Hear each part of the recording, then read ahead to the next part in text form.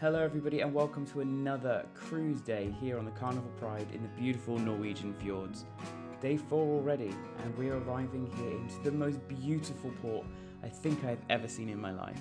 Welcome to Skjolden. Skjolden is a very tiny, small community village here in Norway with a population of less than 400 people. It's a tiny place with not very much to do. However, that is what brings its charm. There are beautiful sights, beautiful hills and mountains, waterfalls, there's wildlife, there's beautiful scenery every single place you look. Hugh described it as every view was a postcard, and you'll see exactly why in the upcoming pictures. Every single picture we took could be a postcard you could sell online. It was an incredibly beautiful place, and I was just desperate to get off and have a good explore around. We walked up to some of the waterfalls, we walked around sort of the tree areas, we went to the little town. You'll see exactly what we got up to on this beautiful day here in Skjolden. I can't believe I got to visit this place, and it was certainly the best port for me of this entire journey.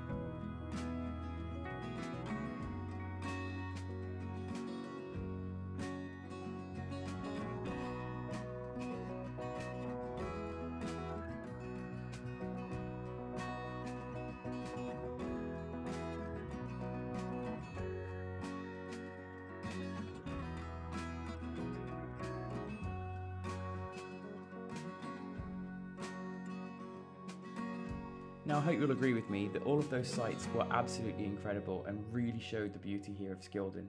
And the, all of those pictures, all of that video content, was all taken from on board the ship. We hadn't even gotten off yet, and we'd already seen all of that. But finally, a tractor pulled us in to uh, get us all roped up, and then we got off the ship to go and explore. Greeting us first of all were these beautiful sheep. It was really nice to see um, and gave me a little bit of a smile in the morning as we saw just how rural this place was. As we walked past there, there were these shacks, almost like beach huts across the lake. These could have been rented by tourists and you could stay in them for a week or so if you wanted to come here. A land vacation, which, let's face it, who wouldn't? There was also this lovely little boat inside the lake, which gave me a lot of feelings when I took a picture of it, and I thought it was really interesting to see. There's some information about one of the more famous residents here in Skjolden, and lots of places to take photos. Ludwig Wittgenstein um, has all the information about him and why he was here. We saw in the distance a lot of these waterfalls, and we thought, ooh, do we want to tick something off our bucket list and go and drink water from a fresh waterfall? Of course we did. So that's where we went. We decided to head off and head towards this.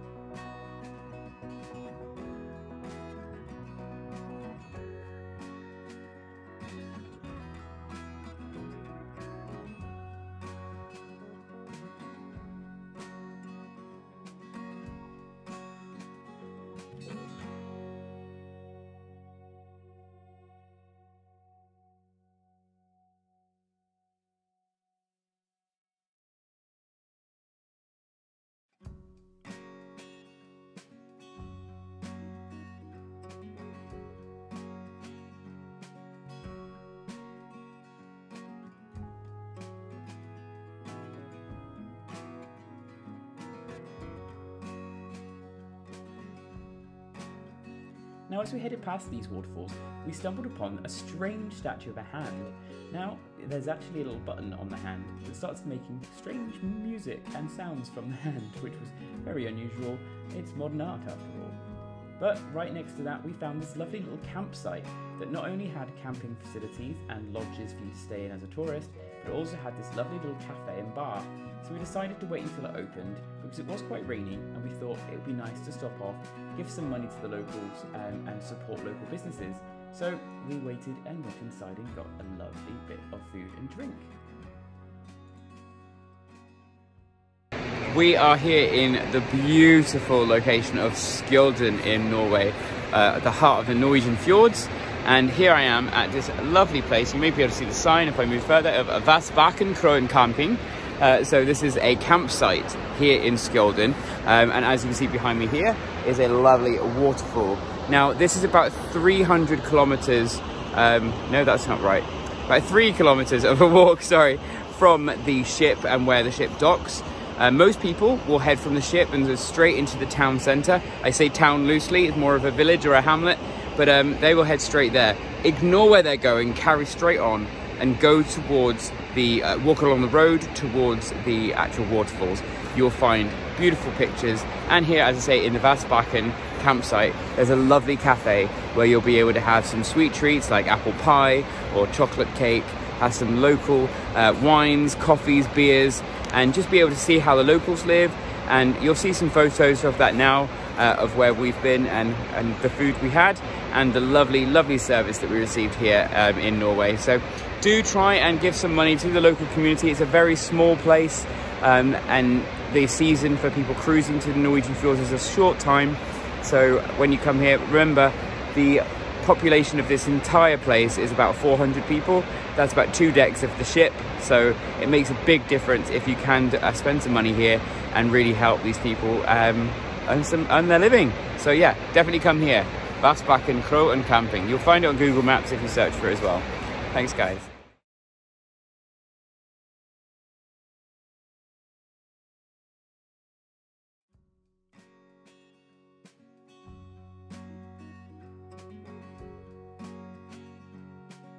As you can see, the local cafe was really nice and rustic and they had just a few things to choose from, but they were really good quality. We chose the local apple pie and I wanted to try some of the local wine as well.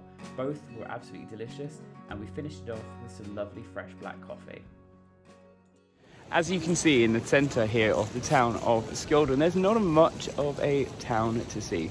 It's quite a small location, but it is quaint to visit. And there is a local shop and supermarket, so you can go in there, buy some sodas to take on board, grab yourself a coffee, or grab yourself some local confectionery and snacks to take home. Skjolden will always be somewhere that I'll have really fond memories of because it's not somewhere where I would ever have thought about going on land. It's somewhere that is a small location that you really do have to visit uh, on a ship or a boat to get the real experience. It's certainly beautiful, and the people here were incredibly friendly and very kind. There was lots to see, lots to do, and although it wasn't the most active of days, it was certainly one of the most memorable. I hope you'll visit, and if you do, please tell me what you thought of the lovely area and of what the people are like here. Hopefully, you'll have better weather now, back on the ship, we had Guy's Burgers for lunch, as well as some of the stuff from the deli and the buffet. And then, of course, it was cocktail time. So we went to our favourite bar, the Alchemy Bar, and had some drinks. It was really nice to do because the drinks here were incredible. Just a brief sample of some of the food we had tonight. We had the roasted broccoli and three cheese soup. We also had the mango cream soup served chilled with vanilla and fresh ginger, and some baked meatballs. We also tried the barbecue pulled wild boar, which was the rare finds of the evening. I didn't get a picture of all of our mains, but we had the salmon koulibiak, the grilled tofu steak, and a grilled beef tenderloin. Join us next time for another episode here in the beautiful Norwegian fjords. Stay safe.